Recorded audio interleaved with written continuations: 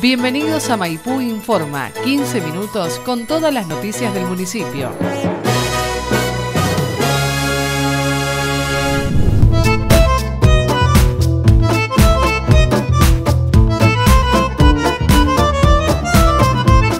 Bueno, muy buenos días. Estamos acá en el playón de la Plaza Quintana. Eh, como bueno, ya se va viendo paso a paso, primero hicimos todo lo que es el tema del hormigón, se presentó lo que van a ser las jirafas de los aros de básquet y ahora estamos en la parte de la pintura.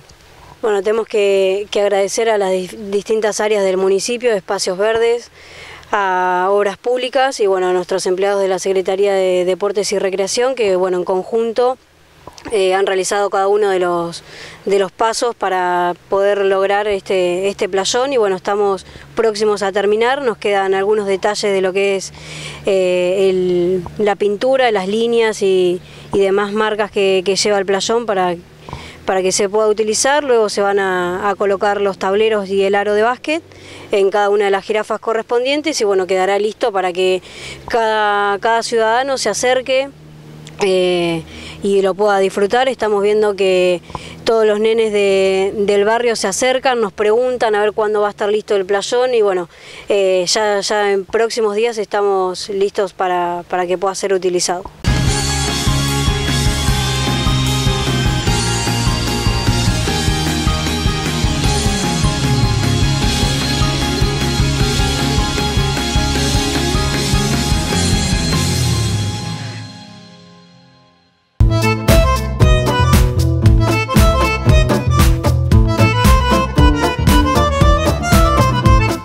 Hola a todos, quiero invitarlos para la obra de teatro que vamos a tener el primero de julio, inaugurando el mes, este mes que está tan armado con un montón de actividades de la Secretaría de Cultura, pero lo inauguramos con una obra de teatro que proviene de la provincia de Buenos Aires, del Ministerio de Gestión Cultural, con un proyecto que el Ministerio desarrolla al encontrarse con tantos teatros en la provincia de Buenos Aires, entonces desarrolla este programa que se llama El Teatro en los Pueblos, y bueno, Maipú llega Candelaria y Enriqueta, Realidad o Fantasía, que es una obra que, que abunda en lo ridículo, en lo fantasioso, tomando personajes de una época y de otra época, y está basada en el cuento de Cenicienta.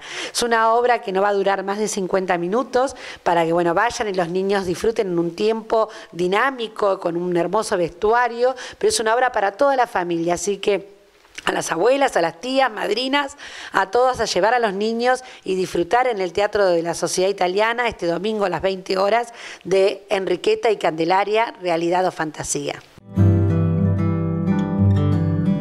Municipio de Maipú.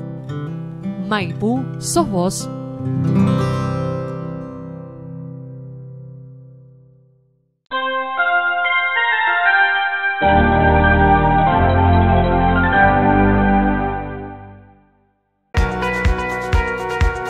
Todo ciudadano debe respetar las normativas de seguridad vial. Si ves líneas amarillas en los cordones, no estaciones y respeta las sendas peatonales. Usar casco salva vidas. Cuando transites, siempre tenés a mano toda la documentación necesaria. Dentro de la ciudad, transita bajo los límites de velocidad. Los menores en el asiento trasero y con cinturón. Si bebés, no conduzcas. Respetar las normas de tránsito hacen una mejor vida. Cuidá y cuídate. Si ves a alguien desconocido o vehículo, llámanos. La seguridad la hacemos entre todos.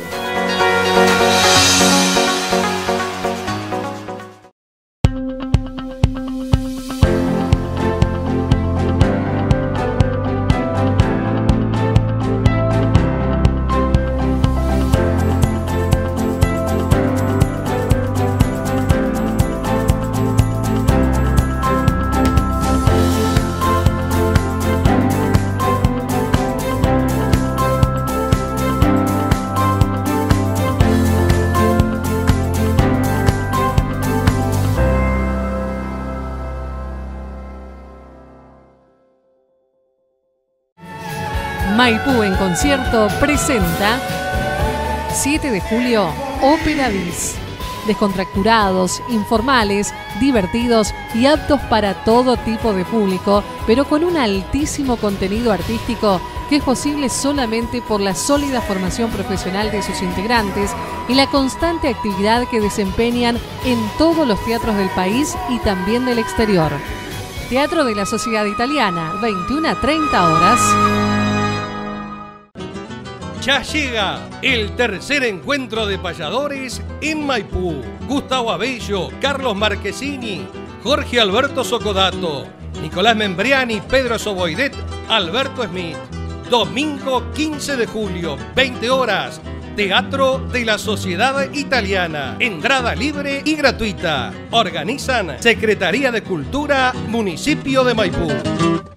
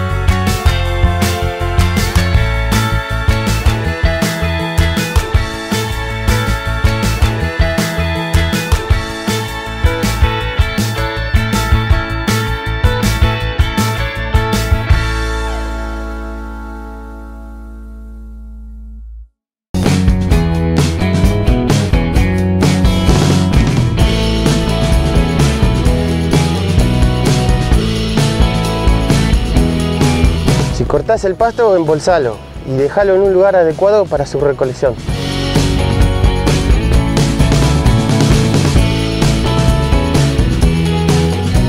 Respetar los días asignados por la Subsecretaría de Servicios Públicos para sacar escombros y ramas.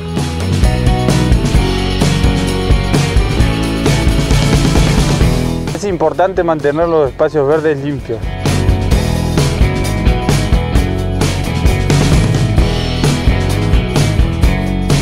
Un Maipú limpio lo hacemos entre todos. Maipú sos vos.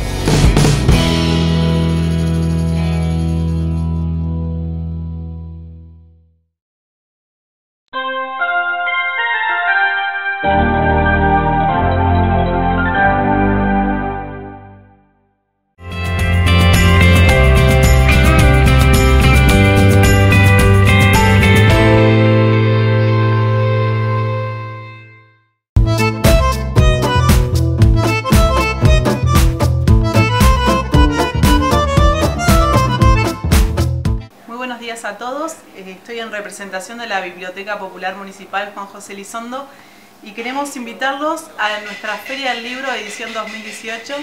En esta oportunidad la biblioteca cumple su aniversario número 52 y bueno, tiene esta propuesta para todos los maipuenses que es la Feria del Libro que va a ir desde el 9 de julio hasta el 13 de julio inclusive. Se va a desarrollar en el Centro Cultural Leopoldo Marechal como todos los años y bueno, tiene propuestas de los más variadas, desde charlas, talleres de arte, artistas locales.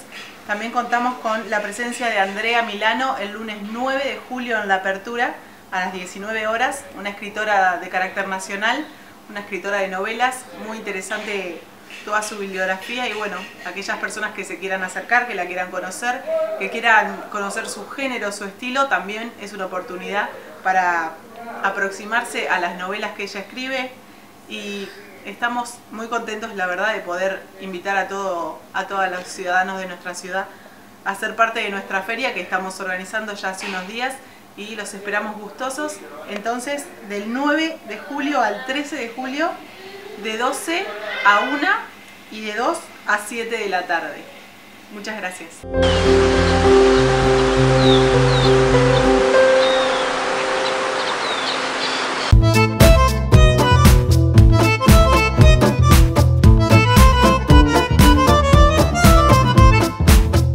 Buenas tardes. Eh, sí, la verdad, estamos muy contentos porque hemos convocado al doctor, Manuel Nogueira y como todos los Nogueiras siempre tienen esa predisposición para con nosotros y la comunidad, así que eh, surgió el tema en el hospital de charlar sobre la bronquiolitis, una patología muy habitual en esta época, muy estacional, y qué mejor que él que nos explique qué es el disertante de hoy. Bueno, este, antes que nada, bueno, agradecerle este, la invitación. Este, bueno, un poco la charla de hoy va a estar relacionada a, la prevalencia ¿sí? de, la bronquiolitis, como decía muy bien ella, en este periodo estacional, este, la patología en edad pediátrica más frecuente, más prevalente, este, y después, bueno, enfocada un poco en los síntomas, en medidas de prevención y también un poquito de medidas de, profilaxis en los casos puntuales que, que esté indicada. Este, bueno, muchas, muchas mamás los conocen, ¿eh? trabajo este, en el hospital de Maipú y eso es muy bueno saberlo y, poder transmitir bueno, los síntomas de bronquiolitis, eh, como vamos a charlar ahora en la clase, que generalmente está precedido por 3-4 días de catarro de vía aérea superior, cuando uno tiene tos, algo de febrícula, este, se ahoga con sus propios mocos y después de esos 3-4 días sobreviene este, cuando las mamás nos dicen, mira, lo noto más agitadito, le sirve el pechito, se le retraen las costillitas, eh, se alimenta y se cansa cuando se alimenta. Bueno, esos son un poco los síntomas este, por los cuales eh, uno como médico este, está esperando la consulta eh, y en ese momento bueno, toma, las medidas de, tratamiento y las pautas de consulta, este, sobre todo con las mamás que, deben ser muy, muy atentas y muy alertas a todos estos síntomas. ¿Cómo lo podemos prevenir? Eh, bien, eh, es una pregunta compleja, ¿no? Este, tratándose de, como te decía antes, de, la enfermedad respiratoria este, más frecuente en edad pediátrica, sumamente frecuente en menores de dos años y más aún en menores de seis meses, este, donde quizás los lugares de contagio son eh, del hermano más grande que va al colegio, o de los nenes cuando se encuentran en la guardería, o del contacto con los mismos juguetes en la guardería, ¿no? teniendo en cuenta de que se contagia con secreciones contaminadas, ¿no? secreciones contaminadas por, el, por los virus que generan bronquiolitis. Descriptos como, como factores de riesgo están, están descriptos cuestiones como el tabaquismo, eh, es más frecuente en hogares donde hay tabaco, es más frecuente en lugares donde hay hacinamiento, es más frecuente este, en, los pacientes que no tienen las vacunas completas, es más frecuente en los pacientes que no reciben lactancia materna, es más frecuente este, o más grave, mejor dicho, en los pacientes que llegan tarde a la consulta. Está entonces prevenir todas esas este, todas esas situaciones y las buenas pautas de alarma y, una consulta precoz este, eh, mejoran el pronóstico este, de las causas o de las condiciones evitables de la enfermedad. ¿no? Municipio de Maipú. Maipú, sos vos.